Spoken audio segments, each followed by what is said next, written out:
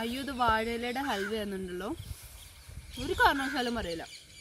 Hi എല്ലാവർക്കും നമസ്കാരം. ഞാൻ നിങ്ങളുടെ അക്ഷയ. ഇന്ന് നമ്മൾ വന്നിരിക്കുന്ന ഒരു സ്പെഷ്യൽ ഡിഷായിട്ടാണ് അത് സത്യം പറഞ്ഞാൽ എന്റെ ഇന്നോവേഷൻ അല്ല കേട്ടോ. വേറൊരു ചേട്ടന്റെ വീഡിയോ കണ്ടിട്ടാണ് ഞാൻ ഇന്ന് ഈ വീഡിയോ ചെയ്യാൻ പോകുന്നത്. ആ ചേട്ടൻ ചെയ്തെന്താന്ന് വെച്ച് കഴിഞ്ഞാൽ നമ്മുടെ വാഴയിലല്ലേ വാഴയില കൊണ്ട് ഹൽവ ഉണ്ടാക്കി. കണ്ടിട്ട് എനിക്ക് ഭയങ്കര കൗതുകം തോന്നി. പിന്നെ അതിന്റെ ടേസ്റ്റ് എന്തായിരിക്കണം എന്ന് അറിയാനൊരു ആകാംക്ഷ. അപ്പം പിന്നെ ഞാൻ ഇന്ന് തന്നെ അതങ്ങ് ട്രൈ ചെയ്യാന്ന് കരുതി. ഇന്നലെ എന്റെ ഒരു കസിനാണ് ആ റെസിപ്പി എനിക്ക് ഷെയർ ചെയ്ത് തന്നെ. അപ്പോൾ ഇന്ന് രാവിലെ തന്നെ ചെയ്യാന്ന് പറഞ്ഞുകൊണ്ട് ഞാൻ ഇറങ്ങി തിരിച്ചിരിക്കുകയാണ്. അപ്പൊ എങ്ങനെയാണ് വാഴയില കൊണ്ട് ഹൽവ ഉണ്ടാക്കുന്നതെന്ന് നോക്കാം. അപ്പൊ ഞാൻ ആദ്യം തന്നെ നമ്മുടെ വാഴയുടെ ഇല മുറിക്കുക ഇത് പാളയംകോടൻ വാഴ കേട്ടോ. ഔഷധ ഗുണങ്ങളുള്ളതാണ്. ഞാൻ കുറച്ച് ക്വാണ്ടിറ്റി ഉണ്ടാക്കുന്നുള്ളൂ. നേരത്തെ പറഞ്ഞ പോലെ ഒരു ടെസ്റ്റ് അല്ലേ? അപ്പോൾ അതുകൊണ്ട് കുറച്ച് ക്വാണ്ടിറ്റി ഉണ്ടാക്കുന്നുള്ളൂ.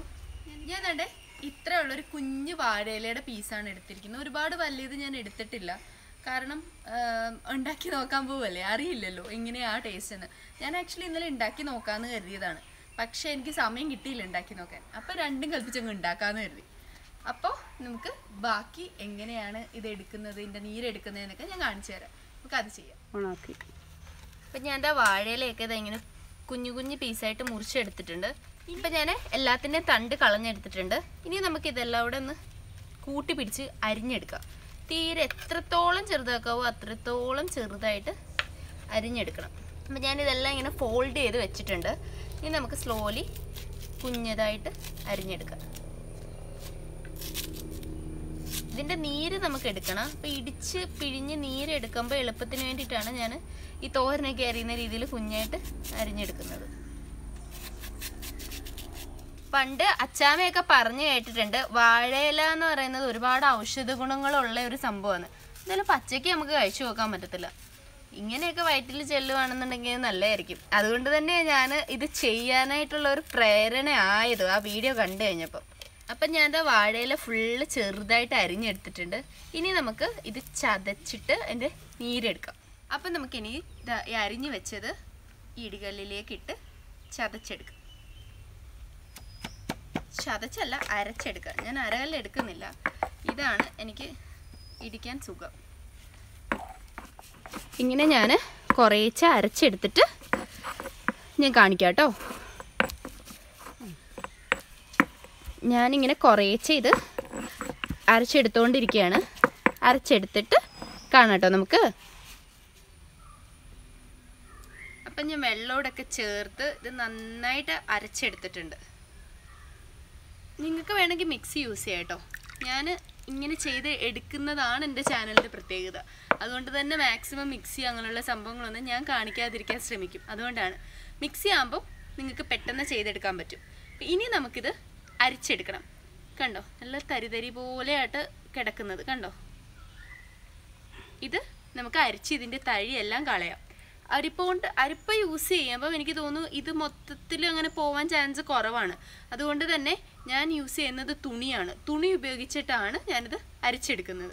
അപ്പം നമുക്ക് അരിച്ചെടുക്കാം. തുണി ഞാനിങ്ങനെ ഉള്ളിലേക്ക് വെച്ച് കൊടുത്തു ഒഴുകി പോകുന്നുണ്ട്. എന്നിട്ട് കുറേച്ച് ഒഴിച്ചു കൊടുത്ത് നമുക്ക് പിഴിഞ്ഞ് പിഴിഞ്ഞെടുക്കാം.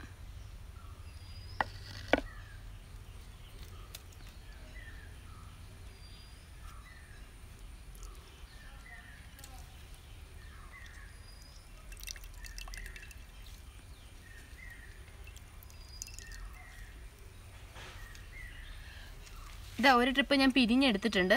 ഇത് കളഞ്ഞിട്ട് അടുത്ത ട്രിപ്പ് ഞാൻ ഒഴിച്ചു കൊടുക്കുക.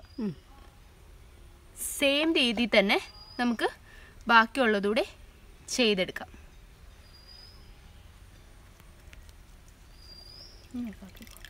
ഇനി നമുക്ക് ഹൽവ എങ്ങനെ ഉണ്ടാക്കുന്നതെന്ന് നോക്കാം. അപ്പം അതിന് ആവശ്യമായിട്ടുള്ള സാധനങ്ങൾ എന്തൊക്കെയാന്ന് പറയാം. നമ്മൾ നേരത്തെ പിഴിഞ്ഞ് വെച്ച വാഴയിലയുടെ നീര് ആവശ്യത്തിന് പഞ്ചസാര രണ്ട് ഈന്തപ്പഴം ചെറുതായിട്ട് കീറി വെച്ചതും അതേപോലെ തന്നെ ബദാം കുഞ്ഞതായിട്ട് മുറിച്ചെടുത്തതുമാണ്. ഏലക്കയും പഞ്ചസാരയുടെ പൊടിച്ചതാണ്. അതൊരു പ്രത്യേക രുചിക്ക് വേണ്ടിയിട്ട് നമ്മൾ ആഡ് ചെയ്യുന്നതാണ്. പിന്നെ ആവശ്യത്തിന് കോൺഫ്ലോർ ഇത്രയാണ് നമ്മുടെ ഹൽവയ്ക്ക് ആവശ്യമായിട്ടുള്ള സാധനങ്ങൾ അപ്പം എങ്ങനെയത് ഉണ്ടാക്കിയെടുക്കുന്നത്? അതിന്റെ മിക്സ്ചർ എങ്ങനെ എടുക്കുന്നതെന്ന് നമുക്ക് നോക്കാം. ഇനി നമുക്ക് ഹൽവയ്ക്ക് വേണ്ടിയിട്ടുള്ള മാവ് എടുക്കാം.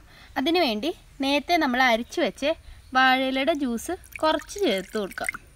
ഞാൻ പകുതി എടുക്കുന്നുള്ളൂ. കുറച്ച് ഇതവിടെ ഞാൻ മാറ്റി വെച്ചിട്ടുണ്ട്.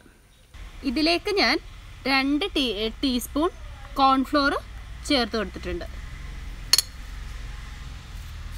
ഇനി ഇത് നന്നായിട്ട് നമുക്ക് കട്ട കൂടാണ്ട് ഇളക്കിയെടുക്കണം.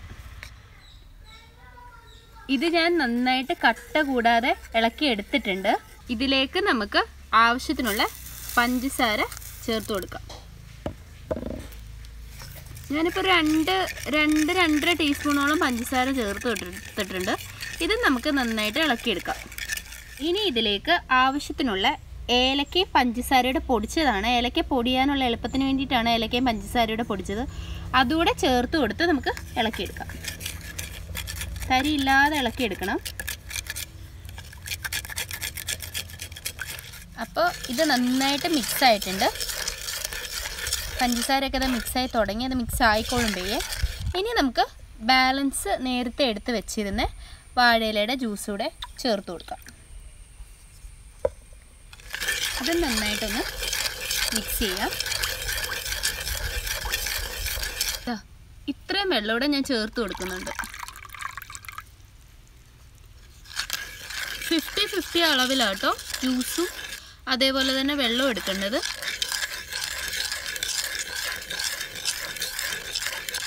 കണ്ടോ? വെള്ളം പോലെ തന്നെ ഇരിക്കുകയാണ്. ചെറിയൊരു കട്ടിയുണ്ട്.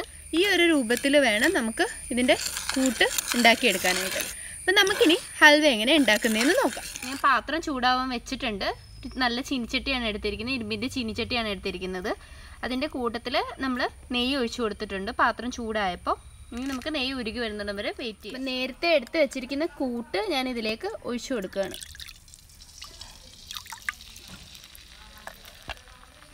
പഞ്ചസാര കുറച്ച് കലങ്ങാതിരിപ്പുണ്ട്. ഞാൻ അതുകൂടെ ഇതിലേക്ക് ഇട്ട് കൊടുക്കുകയാണ്. നിങ്ങൾക്ക് വേണമെങ്കിൽ പഞ്ചസാര കുറച്ച് പൊടിച്ചിട്ട് ചേർക്കുക കേട്ടോ. ഇത് അലിയാൻ കുറേ സമയം പിടിക്കുന്നുണ്ട്.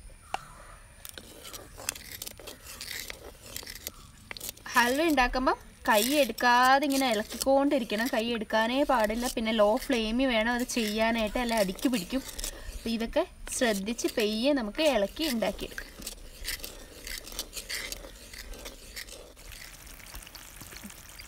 അപ്പം നമ്മുടെ ഹൽവ ആയി തുടങ്ങിയിട്ടുണ്ട്. മുകളിൽ എണ്ണയൊക്കെ തെളിഞ്ഞ് വന്ന് തുടങ്ങിയിട്ടുണ്ട്. ശരിക്കും ഇളക്കിക്കൊണ്ടിരിക്കണം. അതായത് കണ്ട് ഇവിടെയൊക്കെ ഒട്ടിപ്പിടിക്കുന്നുണ്ട്. ഈ ഒട്ടിപ്പിടിക്കാതിരിക്കുന്ന പരുവത്തിൽ വേണം നമുക്ക് ഇത് ഇളക്കിയെടുക്കാനായിട്ട്. കുറച്ച് നേരോടെ ഇതൊന്ന് കിടന്ന് ആവട്ടെ. സ്റ്റിക്കാവാണ്ട് നമുക്ക് ഹൽവ കിട്ടിയിട്ടുണ്ട്. ഇനി നമുക്ക് വേറൊരു പാത്രത്തിലേക്ക് ഹൽവേനെ മാറ്റി കൊടുത്ത് നമുക്ക് സെറ്റ് ചെയ്തെടുക്കാം. ബദാമും അതേപോലെ തന്നെ ഡേറ്റ്സും ഇട്ട് ഞാൻ ഇത് ഇതിനെ ഒന്ന് സെറ്റ് ചെയ്ത് എടുത്തിട്ടുണ്ട്. ഇനി നമുക്ക് ഇതിൽ ഇത് വേറൊരു പാത്രത്തിലേക്ക് അത് ഇങ്ങനെയുള്ള ഒരു കുഞ്ഞു പാത്രത്തിലേക്ക് സെറ്റ് ചെയ്തെടുക്കാം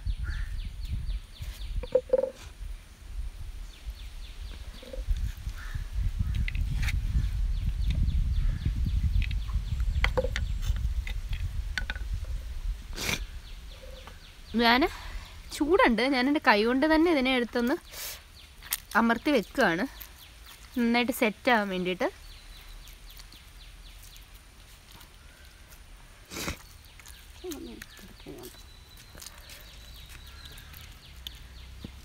ഇനി നമുക്ക് അതിന്റെ ഇവിടെ കുറച്ച് അവിടെ ഒട്ടും ഇവിടോട്ടൊക്കെ ആയിപ്പോയി ബദാം. അതുകൂടെ നമുക്ക് ഇതിനകത്തേക്ക് വെച്ച് കൊടുക്കാം.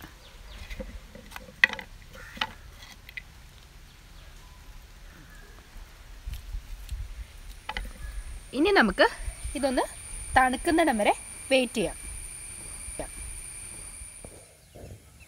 അപ്പോൾ ഇതാ നമ്മുടെ ഹൽവ നല്ല അടിപൊളിയായിട്ട് സെറ്റ് ആയിട്ടുണ്ട്. ഇനി ഞാൻ എന്താണ്ട് ഒരു ഇല വെച്ച് കൊടുത്തിട്ട് ഇത് നമുക്ക് തിരിച്ചിട്ട് എടുക്കാം.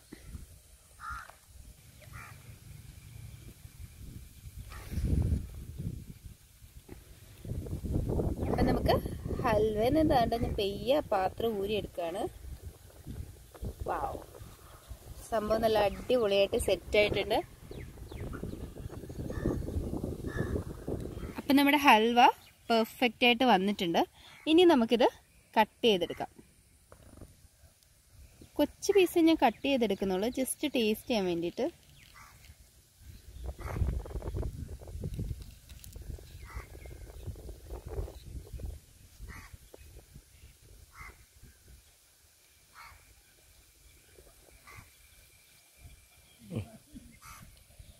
നോക്കി.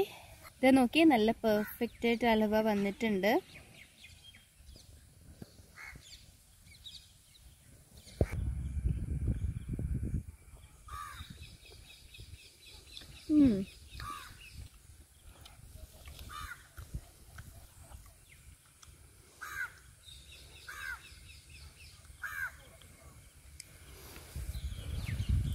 അയ്യോ ഇത് വാഴയിലയുടെ ഹൽവ എന്നുണ്ടല്ലോ ഒരു കാരണവശാലും അറിയില്ല ഇത്ര ടേസ്റ്റ് ഉണ്ട്. ഒരു രക്ഷയില്ല കേട്ടോ.